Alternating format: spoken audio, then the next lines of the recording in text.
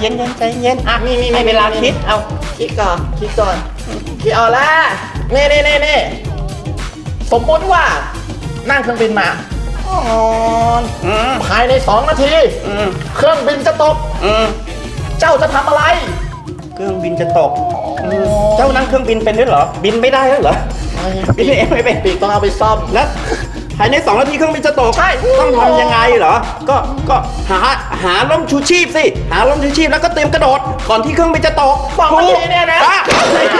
สองนาทีจะตกแล้วไม่ต้อง แล้วจะทำยังไงอะทำใจให้สบาย